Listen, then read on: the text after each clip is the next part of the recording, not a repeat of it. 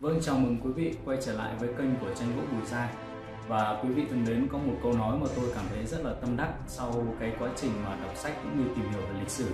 Đó là lịch sử chỉ diễn ra một lần, nhưng để hiểu về lịch sử chúng ta cần có một cái quá trình ờ, điềm nhiên để suy ngẫm. Và ngày hôm nay nhân dịp mà cái tác phẩm Tam Anh Chiến Lã Bố vừa mới được PU xong để chuẩn bị gửi đi cho khách hàng thì tôi lại có dịp để lật dở lại những cái trang sử mà tôi đã tìm hiểu.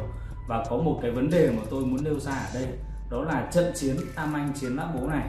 Có thực sự là Lã Bố đủ sức để đánh lại cả ba anh em?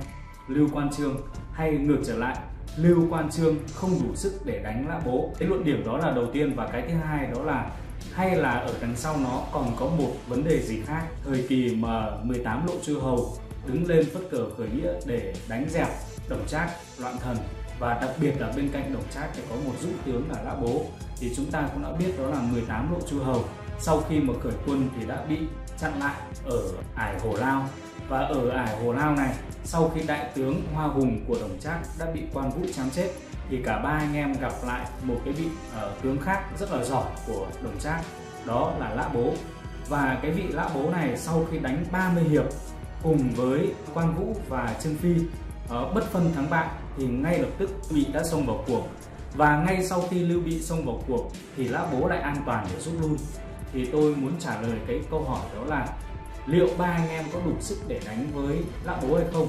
Thì tôi nghĩ rằng ba anh em đủ sức để đánh. Nhưng tại sao đánh nhưng lại để cho lã bố thoát?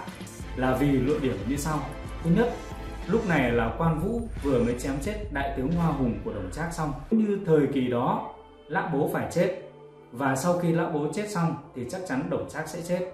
Và khi đồng trác chết thì các thế lực trong thiên hạ còn mạnh 18 lộ chư hầu còn mạnh như vậy thì chắc chắn khi đó 18 lộ chư hầu sẽ quay ra đánh nhau. Và đặc biệt những người nào mà khỏe nhất và mạnh nhất thời kỳ đó sẽ được uh, gọi là chăm sóc hay là chú ý nhiều nhất. Chính vì vậy cho nên là lưu bị đã có một cái sự uh, nhạy bén tinh tế của riêng mình và đã cảm nhận được rằng nếu như mà thời kỳ này để cho lã bố phải chết thì có nghĩa rằng cuộc chiến nó sẽ còn rất dai dẳng rất còn lâu dài và đặc biệt cái vị thế cũng như cái ý đồ của mình nó sẽ khó được thực hiện. Và đó là một cái góc nhìn đa chiều nhưng mang tính cá nhân của chúng tôi. Thế còn quý vị quý vị có thể đồng tình hay không đồng tình? Quý vị có góc nhìn chung với chúng tôi hay là góc nhìn của quý vị là khác? Tôi cũng rất muốn được quý vị chia sẻ để chúng ta cùng phân tích về một cái sự kiện lịch sử để chúng ta có thể hiểu hơn và có nhiều hơn những cái bài học. Và cảm ơn quý vị đã theo dõi, chia sẻ cùng với chúng tôi. Xin cảm ơn và hẹn gặp lại.